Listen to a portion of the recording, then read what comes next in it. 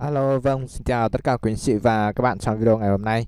À, hôm nay là ngày 22 tháng 4. Trong video ngày hôm nay thì chúng ta sẽ đi phân tích qua thị trường và đi nhận định qua một số những cổ phiếu mà quý anh chị các bạn quan tâm các bạn nhé.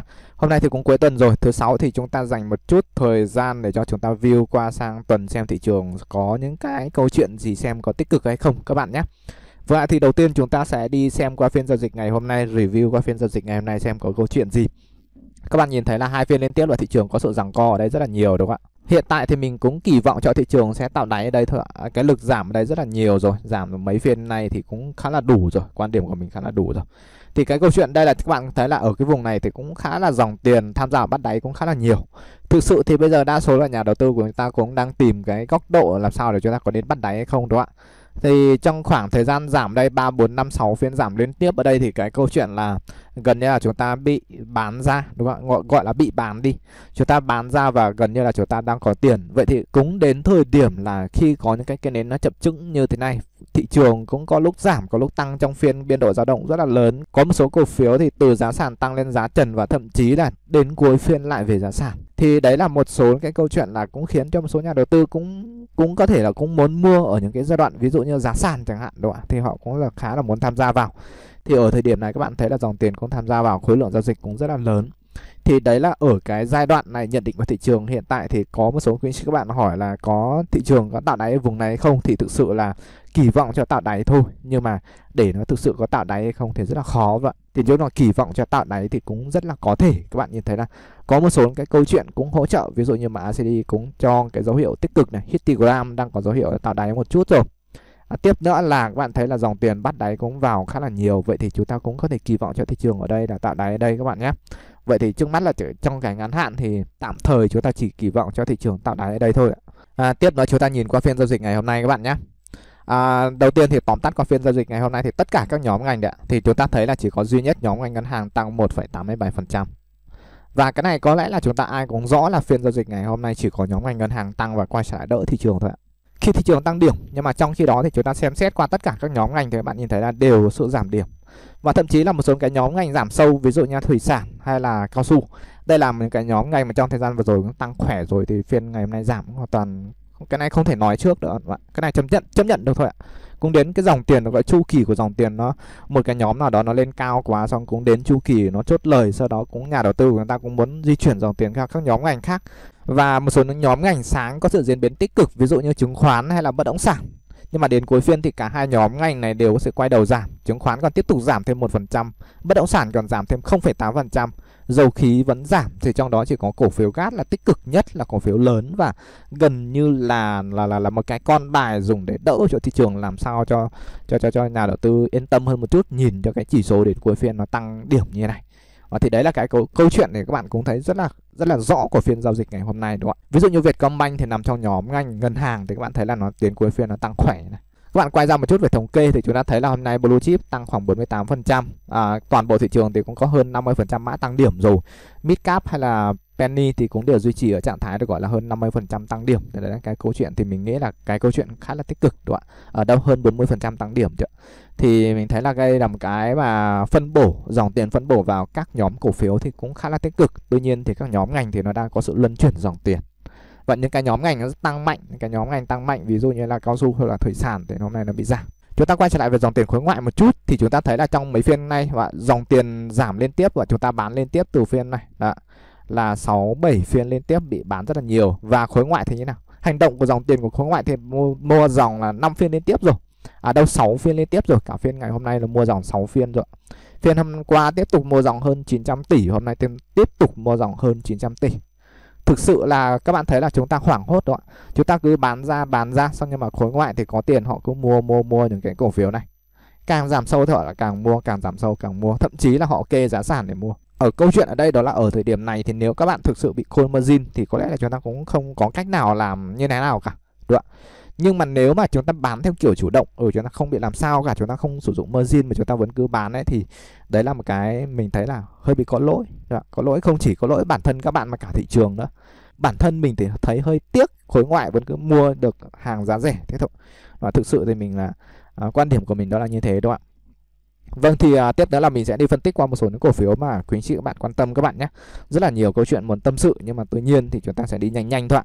À, cổ phiếu DRI à, năm 2022 thì mua được giá nào hợp lý đúng không ạ? Bạn đấy có comment vào cái video mà định giá của năm 2021. Bạn đấy có một từ là năm 2022 thì mình nghĩ quan điểm của mình là khả năng là bạn ấy có nắm giữ dài dài muốn nắm giữ dài dài thì khi các bạn muốn nắm giữ dài dài một chút thì các bạn sẽ quan tâm đến định giá các bạn nhé. Vâng thì đối với cổ phiếu này hiện tại thì à, chập chững ở cái vùng này thì cũng khá là rủi ro thì quan điểm của mình nếu nó xuống về đến cái vùng giá là khoảng 13.5 đến 14 thì mua sẽ hợp lý hơn đây là về góc độ phân tích kỹ thuật các bạn nhé xu hướng thì nó cũng chưa có cái gì hỗ trợ cho lắm cả MACD cũng chưa có hỗ trợ vậy thì quan điểm của mình là chúng ta sẽ đợi mua ở vùng giá 13 13.5 là mua đẹp nhất đây là về góc độ phân tích kỹ thuật ạ. Vậy thì đối với cổ phiếu này thì các bạn đang có hàng các bạn sẽ nắm giữ dù sao nó cũng sắp về cái vùng hỗ trợ rồi. Còn nếu mua thì mua ở vùng giá 13 13.5 là hợp lý nhất. Các bạn có thể canh mua ở vùng này các bạn nhé. À, tiếp đến là cổ phiếu SHS mà đã phân tích rồi Đấy thì đối với cổ phiếu này thì hôm qua buổi livestream của ngày hôm qua mình cũng có nói rồi đấy. Thì đối với cổ phiếu này thì có lẽ là các bạn sẽ hiện tại tạm thời hiện tại các bạn sẽ tiếp tục nắm giữ rồi. Nắm giữ các bạn nhé. Thì à, đối với cổ phiếu này thì hiện tại chúng ta quan sát thế này thì chúng ta thì cảm thấy là nó đã hết lực gần như là nó không muốn giảm nữa thôi. Nó không muốn giảm tiếp nữa. Vậy thì nó có tăng tiếp được không thì thực sự là cũng khá là khó, khá là khó để xác định ở giai đoạn này. Vậy thì quan điểm của mình là hiện tại chúng ta nhìn thấy như này thì chúng ta cũng sẽ kỳ vọng là tiếp tục nắm giữ thôi ạ, nắm giữ ở cái giai đoạn này kỳ vọng là nó hết lực bán và nó cũng sẽ dần dần nó tạo đáy ở đây. Và dù sao nó tích lũy nhẹ nhẹ ở đây và nó cũng sẽ phục hồi nhẹ, phục hồi nhẹ đi lên.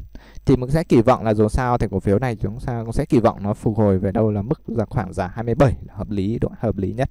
Histogram cũng bắt đầu cho một cái dấu hiệu tích cực ờ, ngoi đi lên mà chúng ta cũng có thể mong rằng nó cũng tạo đáy ở vùng này đúng không ạ giống như cái đoạn này từ trên xuống nó cũng giảm rất là sâu, nhưng mà histogram nó tạo đáy ở đây nó cũng có sự phục hồi ngắn ngắn ngắn ở đây.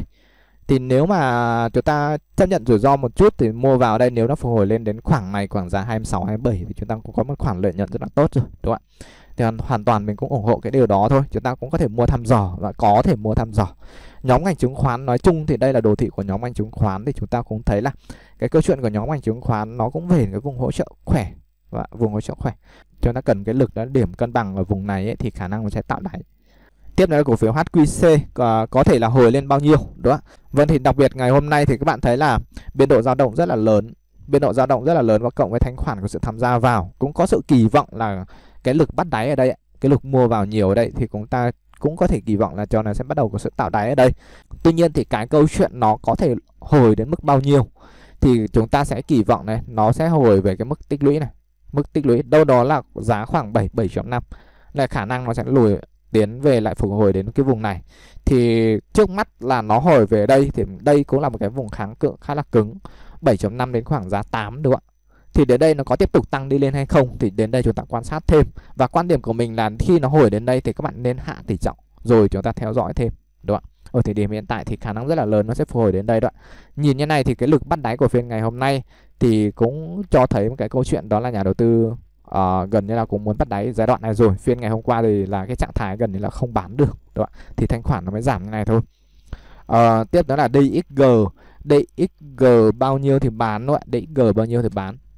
Đối với cổ phiếu này thì bạn ấy đang nắm giữ và muốn mong muốn nó hồi đến bao nhiêu thì hạ tỷ trọng đúng không và thì khả năng rất là lớn nó sẽ hồi về cái vùng này đây cũng chính là cái vùng kháng cự bạn để ý vùng giá 40 là vùng kháng cự rất là cứng của cổ phiếu này các bạn nhé Vâng.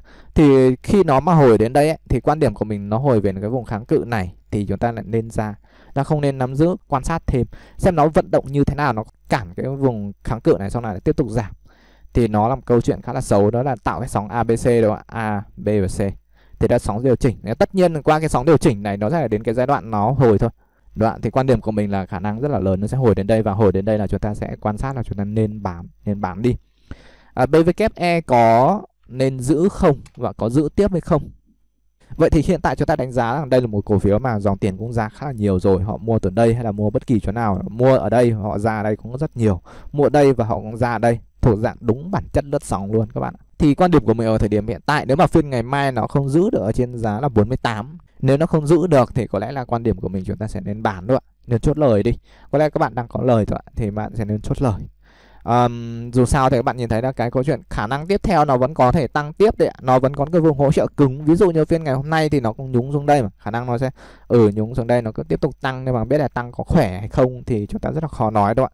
Và một cái câu chuyện nữa là dòng tiền họ cũng ra nhiều rồi. Có nghĩa là mọi người gần như ra khá là nhiều. Hai cái nến vừa rồi nữa thì các bạn sẽ cân nhắc thêm thôi ạ.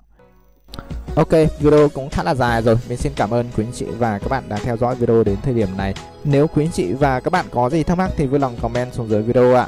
Còn bây giờ, xin chào và hẹn gặp lại quý anh chị và các bạn ở những video sau ạ. Xin chúc quý anh chị và các bạn một buổi tối thật là ý nghĩa bên người thân và gia đình.